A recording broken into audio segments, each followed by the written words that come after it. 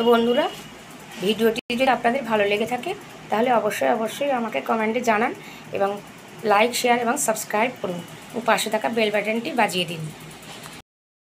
নমস্কার বন্ধুরা, আজ আমি বানাচ্ছি কাটি কচু দিয়ে পোনা মাছ রান্না। তো ভিডিওটি আপনারা দেখতে থাকুন। কাটি কচু আমি তাড়াতাড়ির জন্য প্রেশারে দুটো সিটি মেরে নেব।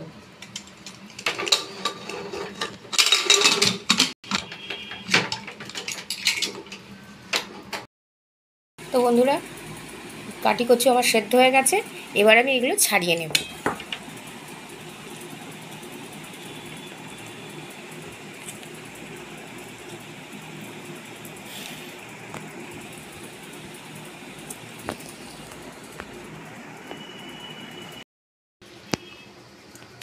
মাছের ঝোলের জন্য আমি জিরে মরিচ আর শুকনো লঙ্কা একটু কড়াইতে টেলে নেব।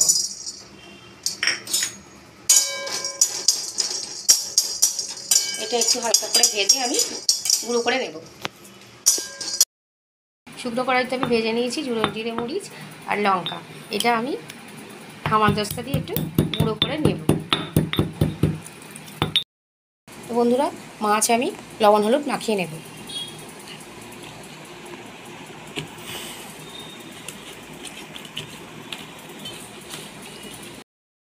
কড়াই গরম হয়ে গেছে, এবার আমি কড়াইতে দেব সর্ষের তেল। মাছ আমি এবার ভেজে নেব।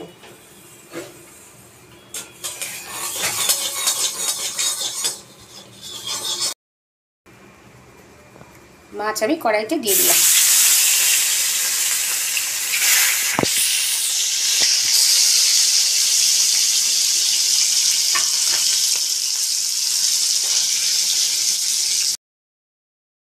এক পিঠ হয়ে গেছে, এবার আমি উঠে দেবো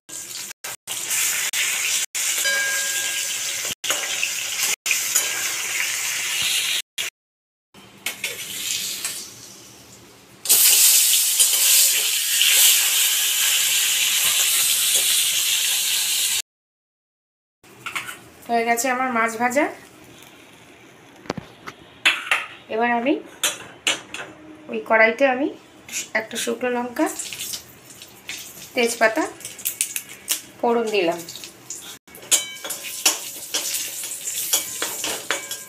দেব। কচু সেদ্ধ করে রাখা ছিল সেগুলো এবার দেব আদা গ্রেট করে।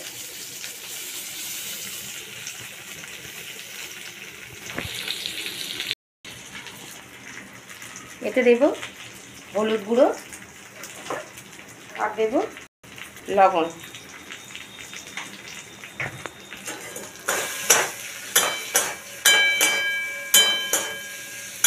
জল ঢেলে দেব।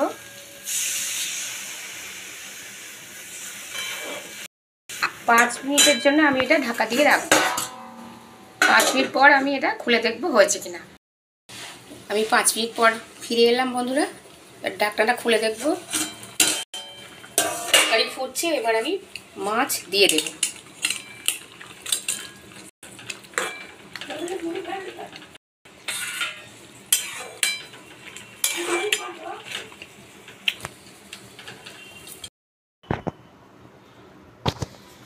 মাছের ঝোল আমার হয়ে গেছে। আমি যে মশলা গুঁড়ো করে রেখেছিলাম, সেই ভাজা মাছটা আমি এবার ছড়িয়ে দেবো। হয়ে গেছে আমার মাছের ঝোল। প্রস্তুত আমার গাটি কচু দিয়ে পোনা মাছ।